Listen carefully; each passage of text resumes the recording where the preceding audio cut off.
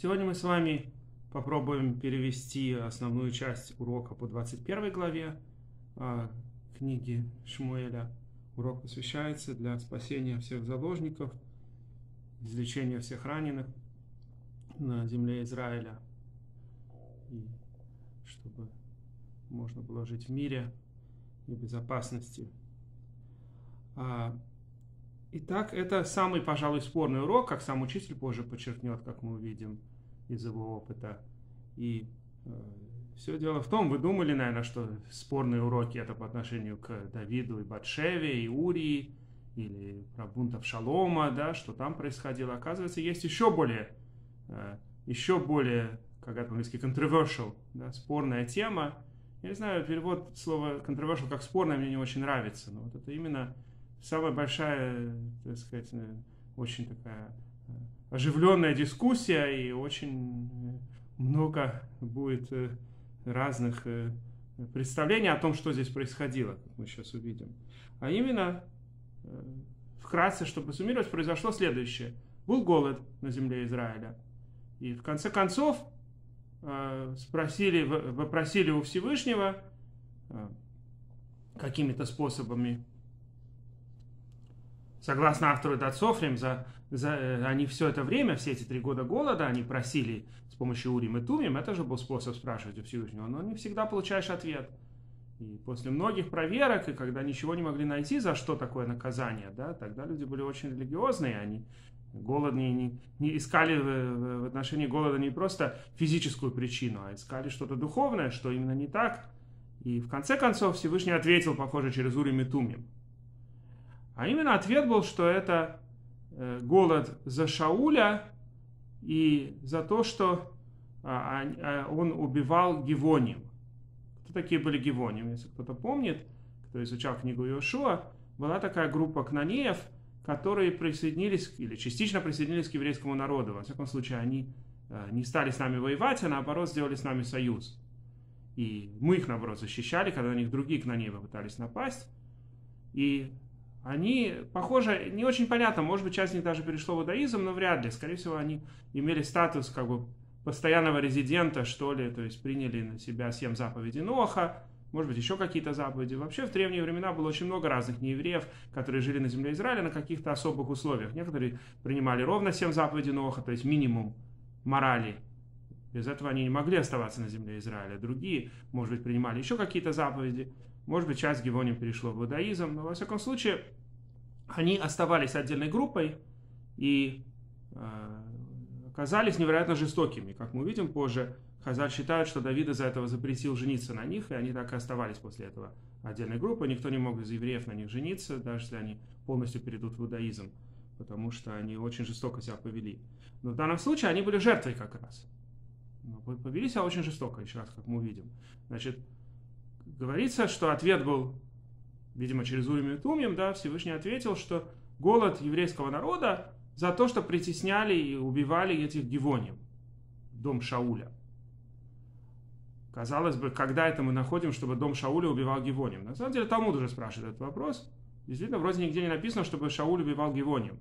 Но говорят наши мудрецы, что вот когда он разрушил город Нов, Помните город священников, которого он уличил в пособничестве Давиду, которого он считал узурпатором и бунтарем, он использовал свои привилегии царя сделать что-то страшное.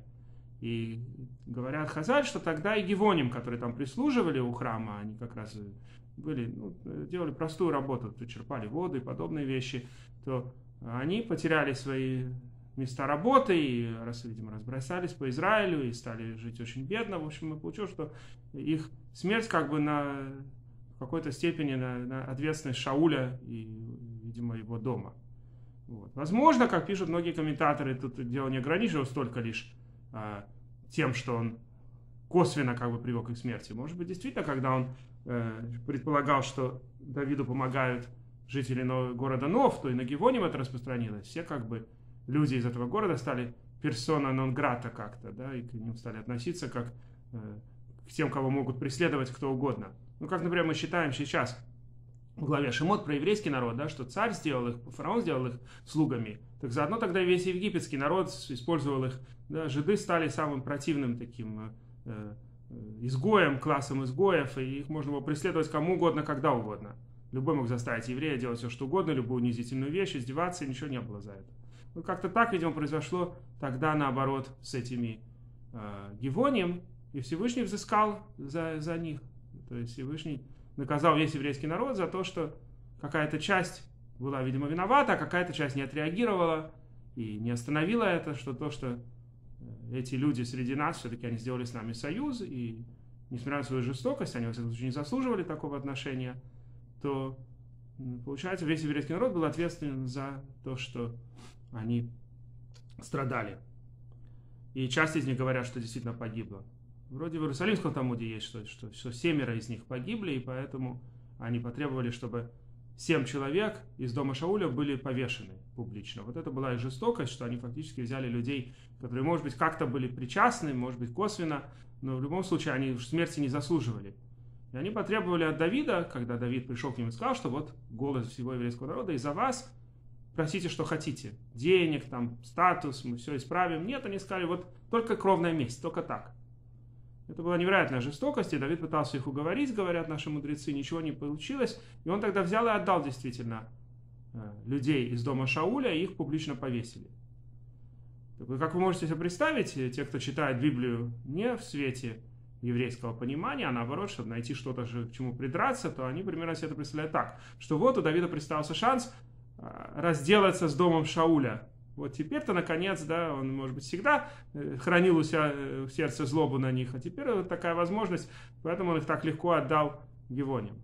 Но это совсем не является еврейским пониманием данного текста, вот как автор, будет дальше обсуждать. Что, что Давид пытался сделать все, что может, но в результате он, как царь, опять же, имел привилегии наказать любого. И действительно выдал им семерых из дома Шауля, царского дома фактически. И те э, повесили, обрадовались, да, э, злорадствовали, что они могут теперь отомстить, э, и повесили их публично. Еще и вдобавок, у нас же, когда человек, человек даже предается смерти, что очень редко случалось, Сангедрин говорится, если раз в 7 лет, а по другой версии раз в 70 лет, если убивает кого-то, это уже слишком. Поэтому убивали очень редко. Но когда кого-то предавали смерти, то его сразу нужно было похоронить. Как и сегодня, мы стараемся всегда хоронить мертвых очень быстро. Желательно в течение дня фактически. И есть тут в Боропарке, например, работают некоторые похоронные конторы даже по ночам, чтобы похоронить человека тут же. А тут им э, их, их тела оставили висеть на очень долго. Это все, видимо, было э, в том числе спровоцировано Гевонем, которые просто не отдавали тела еще очень долго, и они вот так вот висели. Или они это тоже потребовали. В всяком случае, получилось из этого, как отказали, очень интересное следствие что тогда же не было концепции, которой сегодня так мы привыкли, что от стран обычно требуется, чтобы их граждане меньшинства, да, национальные меньшинства получали полные права, чтобы не было каст, да, как, как раньше почти в любом обществе было. И поэтому люди, которые обычно чужаки, если они даже присоединяются к какой-то стране, ну, эквивалент герем у нас, да, те, кто при, присоединились к нам как полный герем, перешли в иудаизм, или как э, постоянные резиденты, то, что называли гертошав, который принес заповеди Ноха. Все эти люди, предполагается, что они будут на очень низком уровне. Так, во всяком случае, в нееврейских обществах было бы. Да, что ты самая, самая низкая часть сословия. А тут получается наоборот. Когда висели эти трупы и проходили, если не евреи, и спрашивали, а кто это такие? Они говорят, вот это повешены люди из царского дома. А за что они повешены? За то, что они притесняли герем, да, чужестранцев. Говорят, очень много людей тогда пришло в иудаизм, что очень им хотелось присоединиться к нации, где даже права самого, казалось бы, низкого сословия полностью соблюдаются, и у них есть права даже против э, дома царя. То есть получился такой неожиданный как бы эффект всего этого, что хотя то, что произошло, было невероятно жестоким, и э, это не было по букве закона, как я сказал. Это царь мог такое позволить, он действовал, потому что видел, что так только остановить голод, такая вот страшная история. Но при этом э, в действительности это привело к тому, что очень многие захотели присоединиться к еврейскому народу. Как-то так вот это все отказали. Как я сказал, Давид в результате запретил вообще этим людям перемешиваться с евреями навсегда из-за этого. Их потом даже во время второго храма все еще были, их натинем называли, да, вот группа людей, которые с евреями не могут женить, а с евреями, с евреями не могут породниться. Поэтому, когда в трактате Кедушин вы встречаете вот эту группу натинем, это вот это вот как раз потомки этих гевоним. Ну и автор на своем модельном уроке, конечно, начинает с того, чтобы опять напомнить, кто такие Гевоним, посмотреть книгу Иошуа и прочесть отрывок про них, и какая у них была да, договоренность в результате, что они как-то около храма, видимо, служили, и в том числе вот простую работу там делали. А э, когда получилось то, что произошло с городом Нов, они, видимо, разбросались по земле, как он говорит, и у них не было никакого пропитания, ведь тогда очень много зависело от того, что нужно владеть было землей, чтобы выжить. У большинства людей, если не было своей земли, то очень трудно было выжить. Они, похоже, никому не были нужны.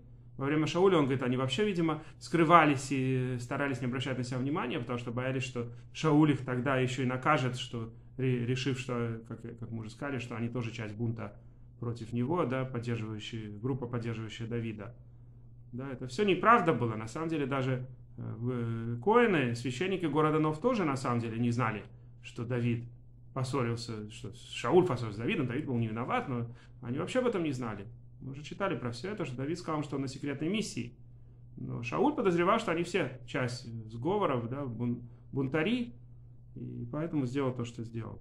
Но, во всяком случае, Геворим долгое время вообще не обращали на себя внимания, но потом при Давиде уже опасность миновала, но у них все равно не было ни пропитания, и очень было тяжело, и земли не было, и никакой работы, видимо, они себе не могли найти.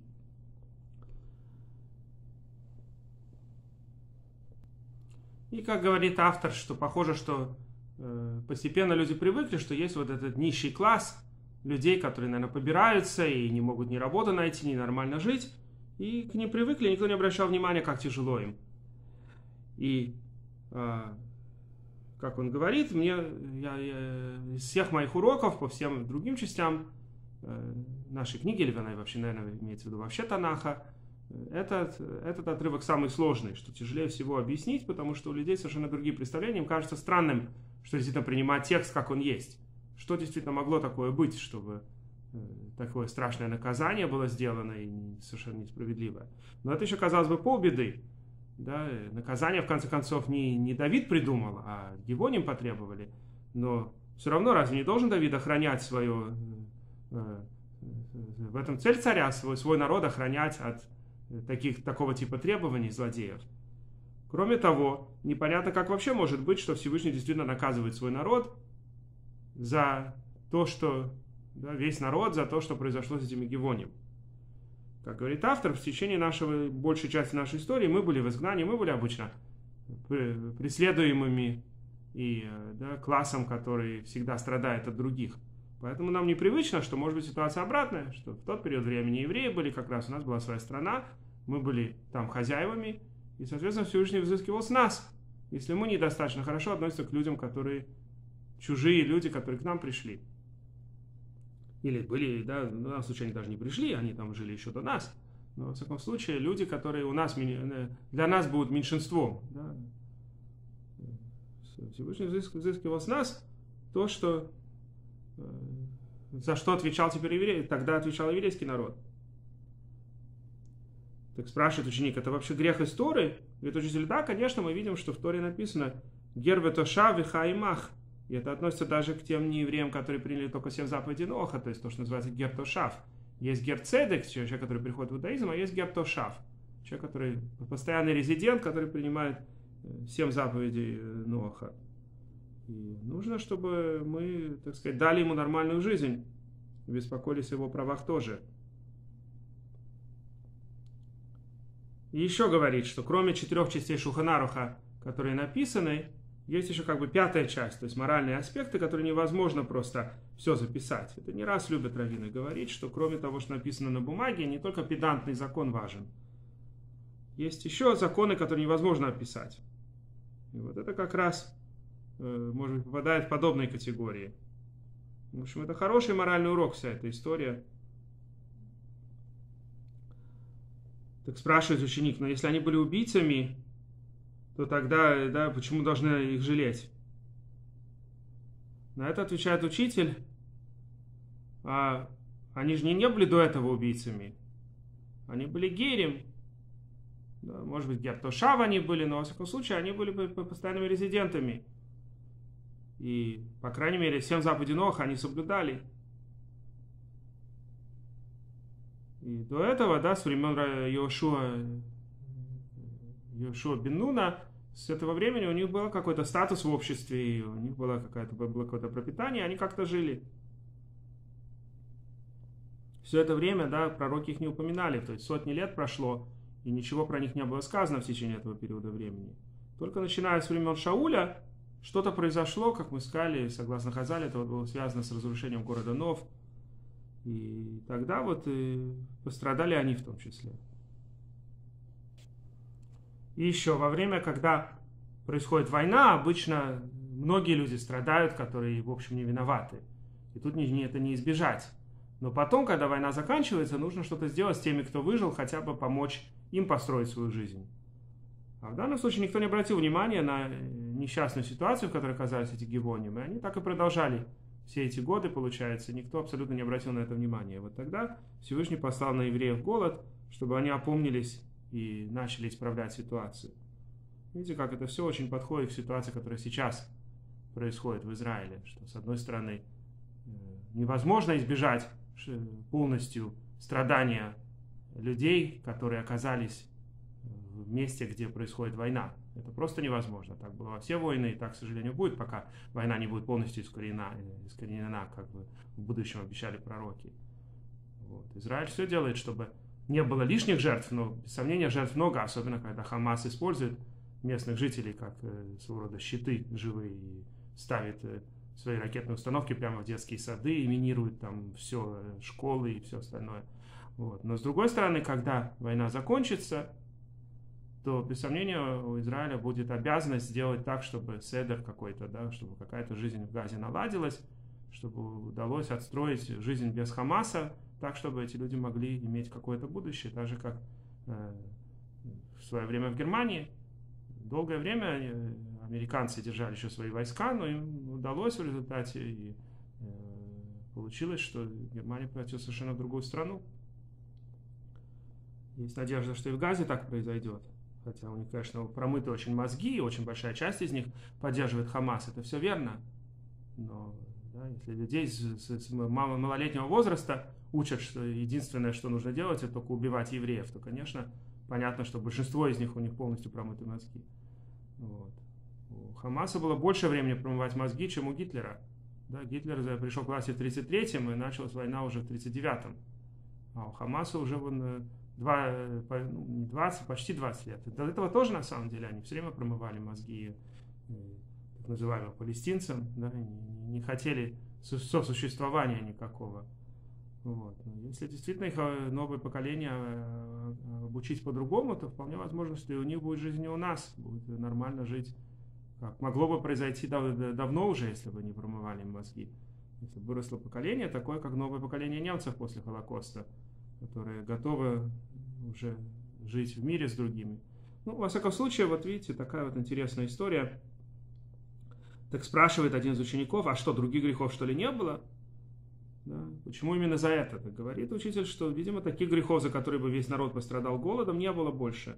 Это был грех, на который хотел Всевышний, чтобы обратили внимание люди. И так вот, таким способом интересным, да, послал голод на весь народ на три года. Так говорит ученик, трудно поверить, Э, чтобы из-за таких кивоним, таких э, нехороших людей, а, да, я не могу понять ни, ни их, ни Давида.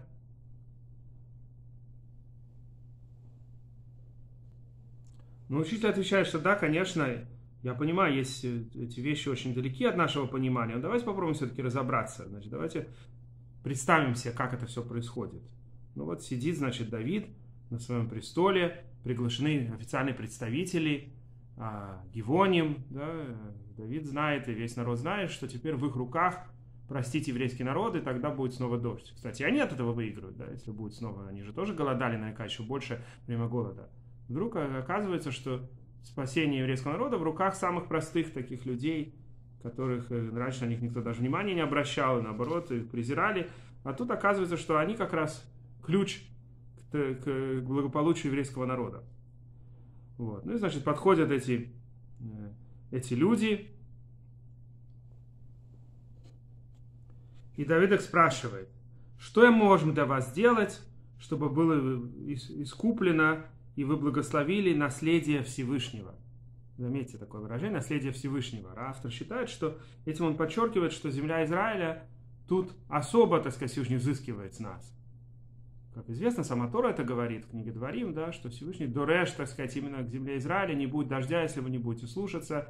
Это не как другие земли, да, в земле египетской, например, все зависело от того, что Нил переливался. Это говорит Тора, что эта земля будет, э, Всевышний наказывать вас, что будет засуха каждый раз, когда не будете слушаться. Вот. Поэтому Давид использует выражение, что это наследие Всевышнего, здесь все очень строго. Может быть, говорит, сначала даже они сами не поверили, что из-за них это засуха. Давид говорит, что вот да, мы получили такую информацию от Всевышнего. Он, видите, не скрывает, сразу открывает все карты, что от вас все зависит.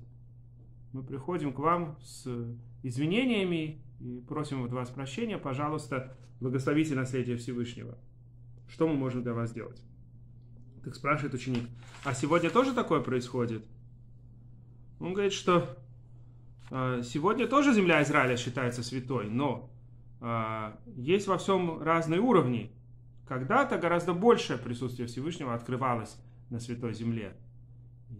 Сегодня же ситуация уже другая, и как бы присутствие Всевышнего у нас скрыто все, все еще, да, не пришел Машиях, еще нету времен, о которых говорится в словах пророков, что будет действительно все, все тогда будут, так сказать, воочию видеть, очевидно, что Всевышний всем управляет. Поэтому сегодня на земле Израиля не, не до такой степени видно, э, как бы, хашгаха протит, что ли, так сказать, четкое управление сверху.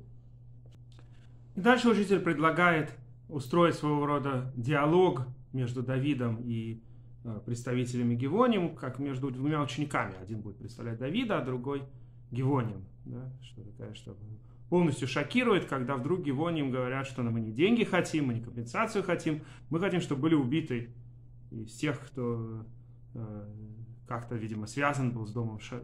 потомки Шауля, которые были связаны, видимо, с их преследованием. Вот. В результате, кстати, Хазар говорит, что Давид использовал Арон и каким-то образом проводил перед Ароном и определенным образом, то есть использовал, э, чтобы выбрать тех, кто будет передан Гивонием, он использовал э, какой-то духовный способ. Не, не все потомки, э, а, не все потомки Шауля пострадали, и даже говорится, что он молился за сына Йонатана, чтобы его спасти. Но в любом случае, вот такая вот страшная вещь произошла, и Давид никак не мог уговорить этих людей.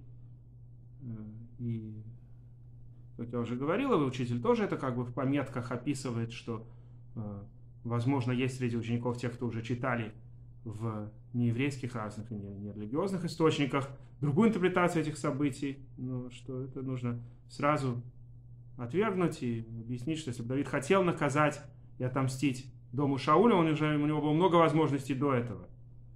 И как раз он сделал все, чтобы предотвратить такое, такое развитие событий.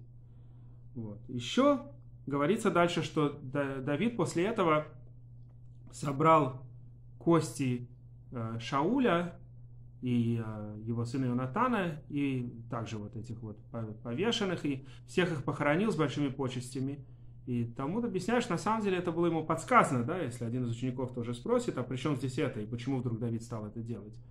Тому что это было ему с самого начала подсказано, когда был ответ, видимо, через Урим и Тумим, Аль-Шауль насчет Шауля, а также, то есть это как будто две разные вещи, что, что нужно, с одной стороны, как говорит здесь Раши от имени наших мудрецов, с одной стороны, Шауль и его дом были виноваты, но с другой стороны, они много великих вещей сделали.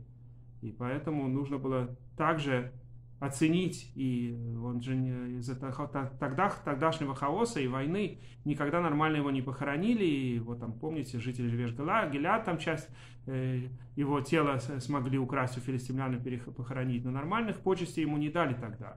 А потом Давид еще 7 лет правил в Хевроне, только позже он стал царем всего Израиля, и так про Шауля и забыли.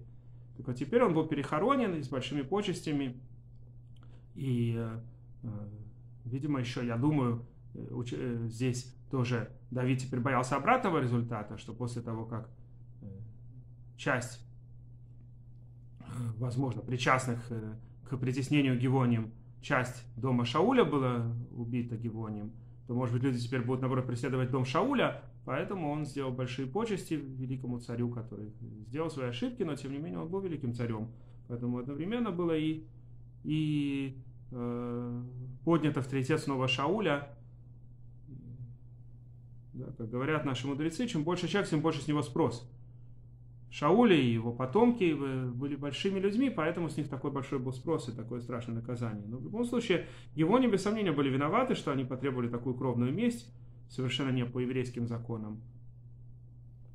И поэтому э, Давид запретил с ними э, перемешиваться. Одну интересную вещь я хочу здесь заметить, что упоминается в том числе пятеро здесь детей Михал, да, среди вот потомков Шауля – но вроде у Михал же не было детей. В крайнем случае она, может быть, родила ребенка перед, перед своей смертью и умерла при родах, как некоторые из мудрецов считают. Но откуда у нее вдруг пять детей? Так вот, обычно приводится мнение, которое в Талмуде приводится в Трактате Санхедрин в том числе, что у Михаль действительно не было детей, но она вырастила детей Мейрав, которая умерла, и детей своей сестры. Поэтому это считаются ее дети. И так в других местах. В Танахе можно также объяснить, что иногда это не свои дети, а она как бы мачеха им была. Вот. Я однажды написал небольшую статью, в которой я предполагаю, что может быть одно из мнений таки э, среди мудрецов Талмуда не согласны с этим и считают, что у Михал были дети, но они не от Давида, а они от ее мужа, который был тогда э, да, от человека, за которого она вышла замуж, пока Давид убегал от Шауля. Ну, в любом случае, наша глава на этом не заканчивается. Там дальше в 21 главе будут еще какие-то короткие войны. Но их автор особенно подробно не описывает на этих уроках, только в своей книге Дат Софрин, где он комментирует весь Танах. И вообще у нас остался, наверное, максимум два, может даже один урок, потому что весь оставшийся, э, вся оставшаяся книга Шмуэля, она в основном суммирует разные события. Тут есть одна песня длинная, которая почти идентична 18-му псалму. И э, также вот множество разных событий, кроме самых последних, фактически тут э, на каждый из них он не посвящает особо подробно уроки, только вот в своих комментариях Дацофрим их э, освещает. Поэтому я думаю, что мы скоро закончим книгу Шмаэля, и тогда будет выбор, продолжить ли подобные же уроки по другим книгам, например, книге Млахим, или на этом пока остановиться.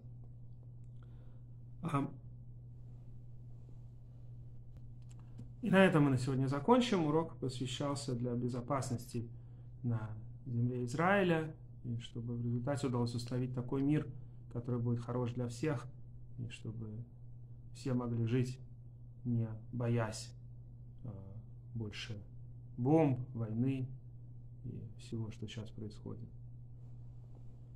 И чтобы все заложники вернулись живыми, кто еще жив, и чтобы были излечены все раненые и все больные.